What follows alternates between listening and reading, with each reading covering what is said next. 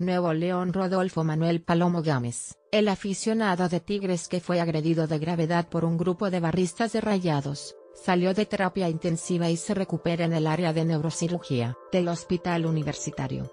Está consciente, pero aún sin poder comunicarse a través del lenguaje, responde a órdenes sencillas y aún se tiene que esperar para ver la evolución neurológica, informó la Secretaría de Salud.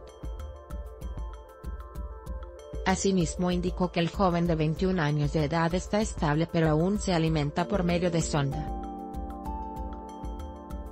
Palomo Gámez fue agredido por aficionados de Rayados Palomo Gámez fue agredido por al menos 20 aficionados de Rayados durante una riña en la avenida Esplán al norte de Monterrey el domingo 23 de septiembre, horas antes del clásico futbolero de los equipos locales. Desde esta fecha había permanecido grave por los golpes que recibió en la cabeza.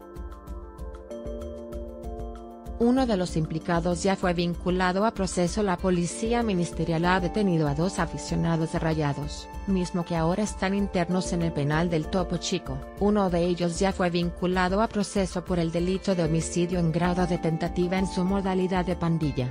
Tras los hechos directivos de los dos equipos, autoridades estatales y municipales así como las barras llegaron a un pacto de no más violencia, y tomaron algunas medidas entre las que destacan que ya no marcharán por la vía pública rumbo a los estados el día de juego.